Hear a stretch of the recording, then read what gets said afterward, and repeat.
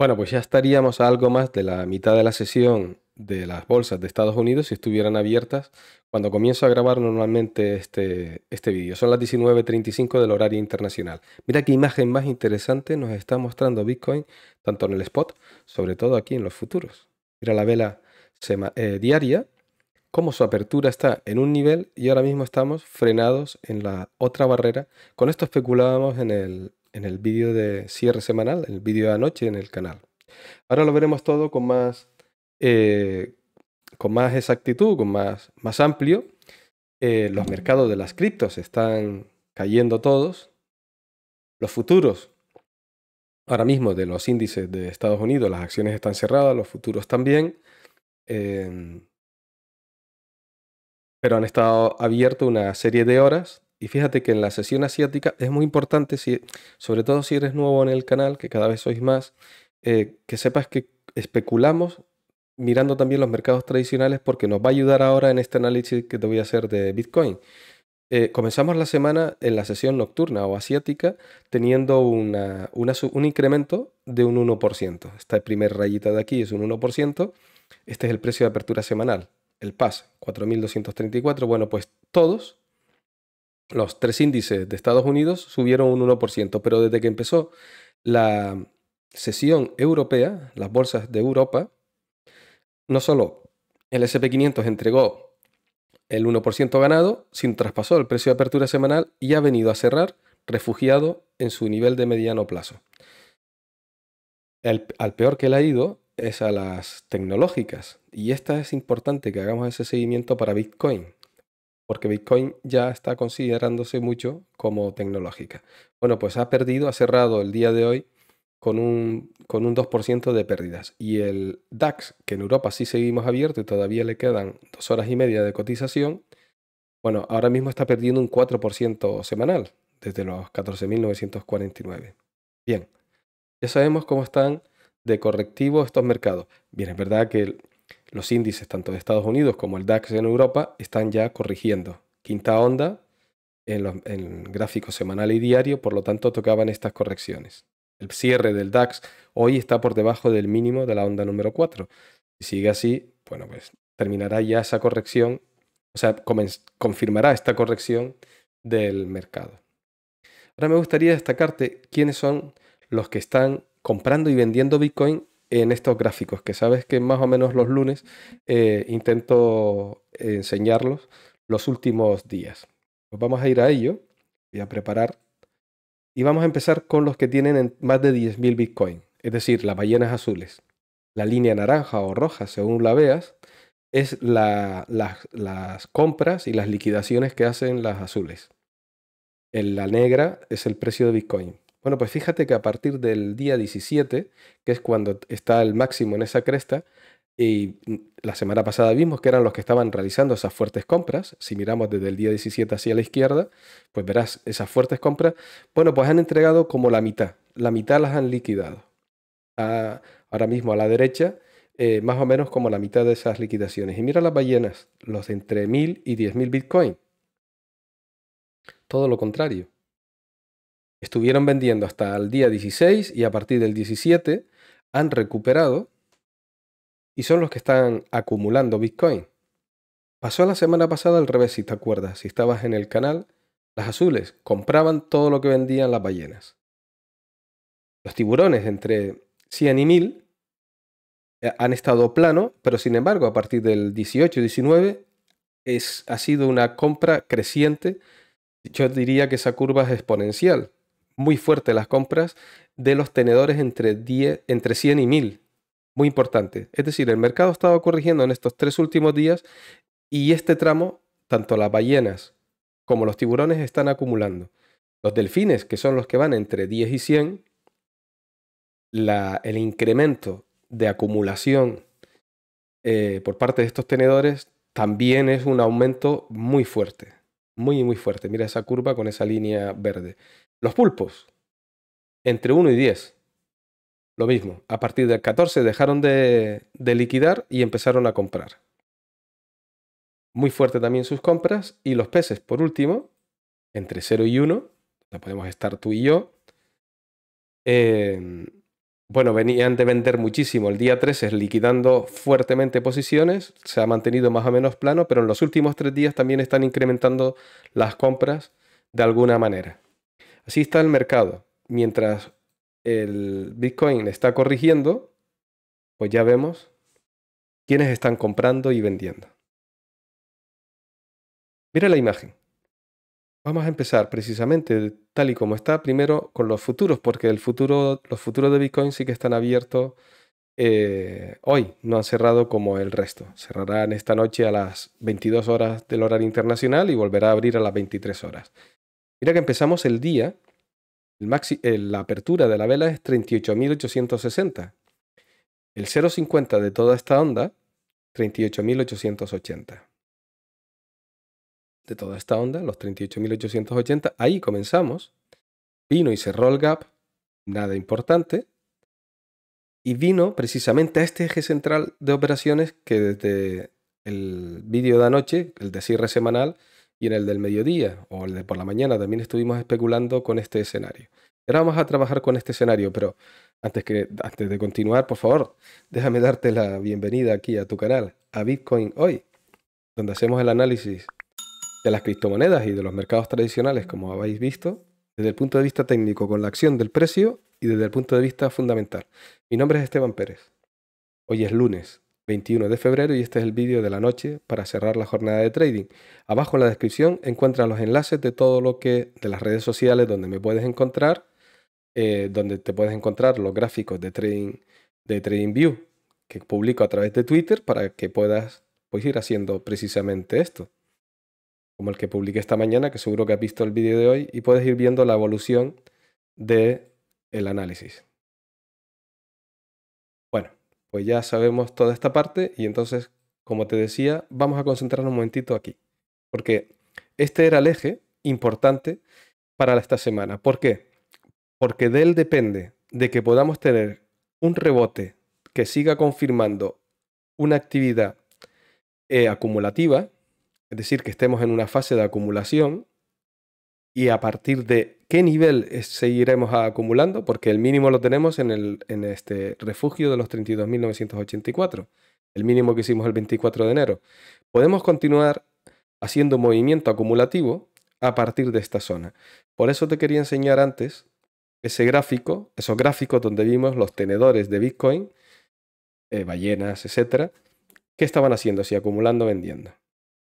Para que este, para que este escenario se dé, el freno de esta triple barrera que tenemos aquí, mediano plazo 37696, el de cortito plazo, que es el que dice 0382, deja que lo abra para que se pueda ver mejor, que son los 37455, y debajo la azul, que es de largo plazo. Esta tiene más de un año, pero mucho más de un año, y está funcionando muy bien ese nivel. 37,420 en los futuros. Vale, esta triple barrera es la que ha frenado al precio y se encuentra pues destacando entre estos niveles alcistas, porque son verdes, que son los de la onda número 1. Bueno, si viene a frenar aquí en los 0,38 y, podemos, y, empezamos a ver eh, un rebote alcista acumulativo, pero tiene que haber mucho, eh, tiene que haber un volumen destacable, podríamos verlo que venga para los niveles que esperamos para esta semana como resistencia. 42.408 y los 42.635. Todo esto te lo estoy hablando en los futuros. Ahora vemos el spot. En caso de que no consiga este apoyo, que finalmente siga el pesimismo, último nivel importante, 35.700, para derivar a estos de aquí. 32,984. Es decir, este sería el nivel de soporte para esta semana. Más abajo ya, y tendría que pasar algo terrible, 29,880. Eso volvería esta pauta que se está generando como correctiva, porque estaríamos vulnerando este mínimo. De momento vamos a trabajar con este escenario. Mientras le dé apoyo aquí, lo vemos en gráfico de una hora, mientras le dé apoyo ahí, las posiciones bajistas están vetadas.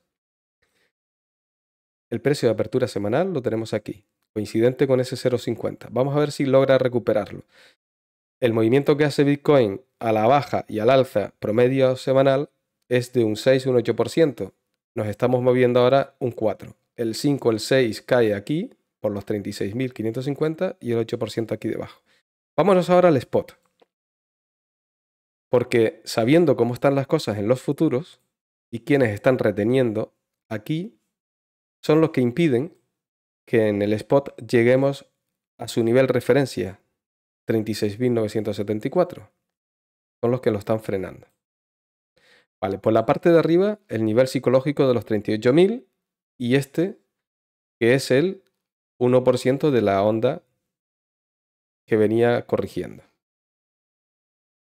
Y por la parte de abajo tenemos los 36.974. No hemos podido llegar hasta ahí. Vamos a verlo mejor en gráfico diario.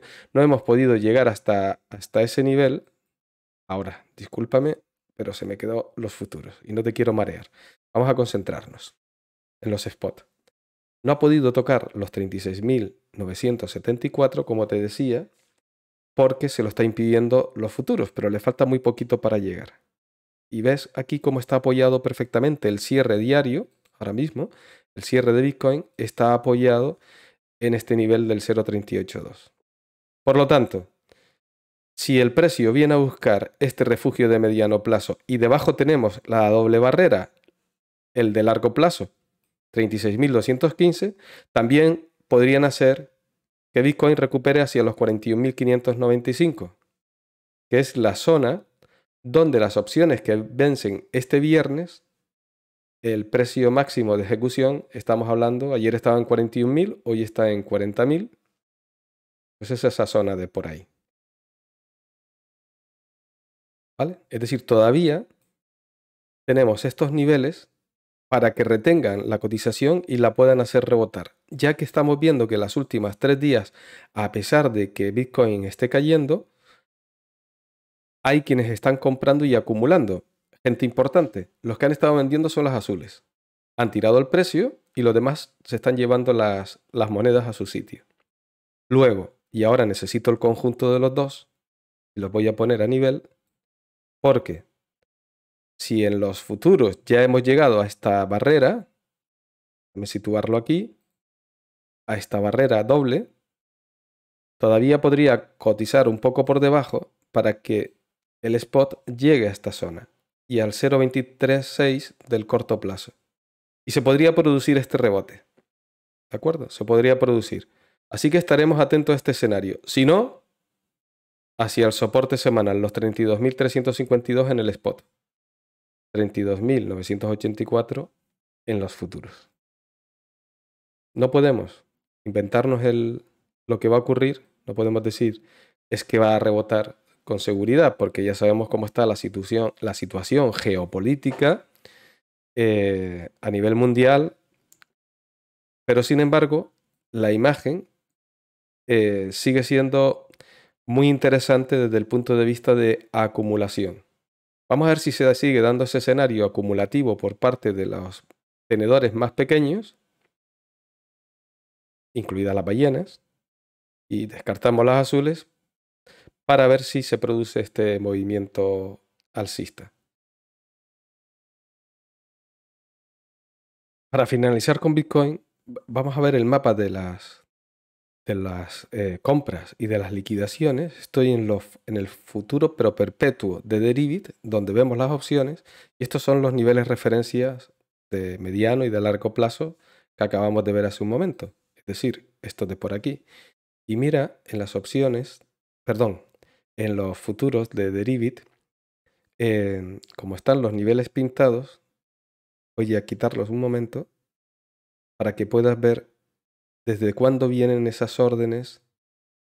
Todas estas son intradiarias, pero sin embargo, a medida de que le voy dando, voy, vamos encontrando que hay órdenes de menor tamaño, pero que vienen mucho más de lejos.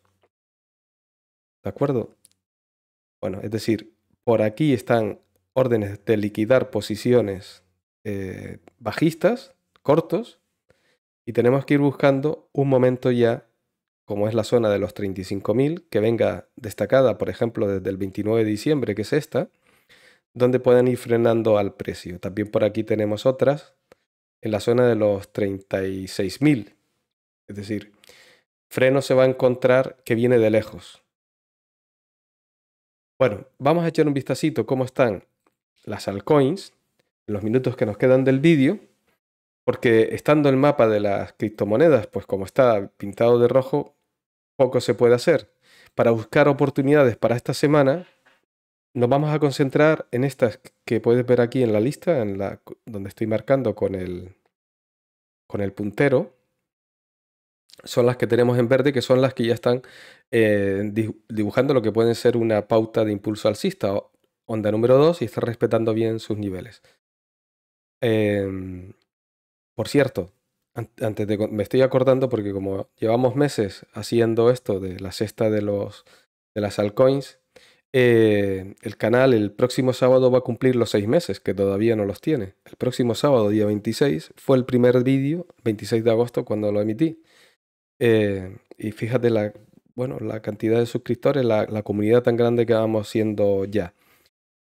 Em, iremos hablando de esto durante la semana. Em, y ahora, lo digo porque en la página web encontrarás que verás que hay una cesta de activos y verás esto y, y puedes ver también cómo están los gráficos, ¿vale? Con los que vamos especulando. Bien, Atom, muy interesante Cosmos, porque sigue aquí defendiendo los 26 y medio en esta zona de, donde se puede estar propiciando acumulación, respetando bien los niveles y aunque hoy esté bajista, sigue sin marcharse de toda ella. Vamos a ver si logra por fin remontar posiciones y separarse un poco de todo este movimiento de Bitcoin. Porque mira Luna. Luna sí que tiene un buen día alcista. Espectacular. En esta fase acumulativa, en este nivel, los 53.34. ¿Vale? Así que eh, muy buena situación y además he encontrado sobre ella aquí en cryptoticker.io eh, eh, sobre Luna, que dice los mejores tokens del mercado. Dice Terra, Luna, ¿por qué va a subir el precio? Dice que es un sistema muy beneficioso para los inversores de Luna al ser una de las mejores criptos estables del mercado. Dice, si no es la mejor. Y UCT va a seguir teniendo cada vez más adopción como puede ser el reciente listado en Kraken. Bueno, lo que nos interesa es que la, valoran eh, como muy buena y que puede tener un buen año. Nosotros desde el punto de vista técnico aquí, sin ver ningún tipo más de fundamental, la imagen es muy interesante. Además, le hemos ido sacando partido en meses anteriores. Si te acuerdas bien, en septiembre, octubre y noviembre estuvimos negociando Luna todas esas fases alcistas hasta llegar a tomar beneficios en esta zona de por aquí. Así que Ojo, vamos a seguirla teniendo en cuenta durante esta semana, iremos hablando de ella. One, que es otra de las que también tenemos en momento alcista, bueno, está llegando casi al nivel donde empezó la primera onda. Onda número uno, la segunda que ha sido muy vertical y hoy está yéndose hacia esa zona. Vamos a ver si frena y se devuelve hacia los 0.19. Rose, otra de las que va en verde, está defendiendo los 0.2562, que es este 0.382. De momento, a pesar de hoy ser un día bajista, mira que la vela no es muy importante en comparación a la que tenemos, por ejemplo, en, Bitcoin, en gráfico diario. Está algo mejor. O lo puede parecer. Y Sand es otra de ellas. Bueno, más o menos como Bitcoin hoy. También defendiéndose de los 30-60. A ver si vuelve hacia ellos porque ya llevan muchos días cayendo y recupera posiciones y vuelve hasta aquí arriba. De resto, las demás lo vamos a ir dejando para mañana, porque cuando el mercado está así, está complicado el que pueda buscar alguna alternativa. Sé que puede parecer muy aburrido, 21 de febrero, que vayan pasando las semanas de este año y no se vaya consiguiendo, pero es que el año pasado fue un año muy alcista, conseguimos en muchas, si te acuerdas, llegar a precios objetivos fantásticos y ahora estamos en, en momentos correctivos o en finalización de ellos o naciendo nuevos movimientos. mira, la Bitcoin también. Es cuestión de seguir vigilando, negociar lo que se pueda en el corto plazo y buscando estas oportunidades. Lo vamos a dejar aquí para mañana continuar y podamos vigilar esta zona. Ya sabes lo importantes, los momentos importantes en Bitcoin, eh, donde tiene que mantener esos apoyos y frenar, si no, el escenario que se nos puede ir dando. más bajistas. Espero mañana, espero que te esté gustando. Y te espero mañana aquí en el canal. Que tengas una buena noche, porque mañana será más y mejor. Un saludo.